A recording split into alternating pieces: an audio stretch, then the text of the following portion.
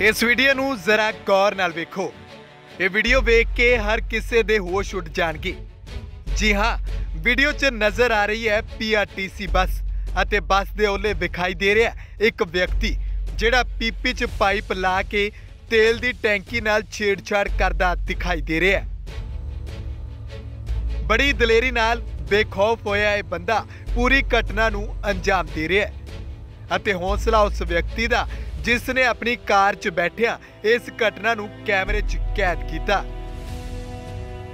Video 'ਚ ਅੱਗੇ ਵੇਖ ਸਕਦੇ ਹੋ ਕਿ ਕੰਮ ਕੀਤਾ ਤੇ ਚੱਲਦਾ ਬਣਿਆ ਇਹ ਵਿਅਕਤੀ ਪਾਈਪ ਨੂੰ ਕੱਢ ਕੇ ਪੀਪੀ ਸਣੇ ਮੌਕੇ ਤੋਂ ਖਿਸਕ ਜਾਂਦਾ ਹੈ। ਪਰ ਜਨਾਬ ਨੂੰ ਇਸ ਗੱਲ ਦਾ ਰਤਾ ਵੀ ਅੰਦਾਜ਼ਾ ਨਹੀਂ ਸੀ ਕਿ ਉਸ ਦੀ ਵੀਡੀਓ ਬਣ ਰਹੀ ਹੈ।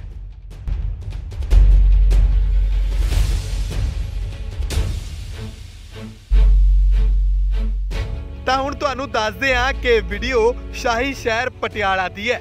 ਜੀ ਹਾਂ, ਮੁੱਖ ਮੰਤਰੀ ਦਾ ਸ਼ਹਿਰ ਪਟਿਆਲਾ। ਬੱਸ ਸਟੈਂਡ ਵਾਲੇ ਪੁਲ ਦੇ ਨੇੜੇ ਅਤੇ ਰੇਲਵੇ ਪੁਲਿਸ ਥਾਣੇ ਦੇ ਬਿਲਕੁਲ ਨਜ਼ਦੀਕ ਬੱਸ ਦਾ ਨੰਬਰ ਵੀ ਵੀਡੀਓ 'ਚ ਸਾਫ਼ ਵਿਖਾਈ ਦੇ ਰਿਹਾ ਹੈ। ਹੁਣ ਪੀਆਰਟੀਸੀ ਮਹਿਕਮਾ ਜਾਣੇ ਕਿ ਆਖਿਰਕਾਰ ਇਹ ਹੋ ਕੀ ਰਿਹਾ ਨਿਊਜ਼ ਡੈਸਕ ਤੋਂ ਸੁਖਵਿੰਦਰ ਸਿੰਘ D5 ਚੈਨਲ ਪੰਜਾਬੀ।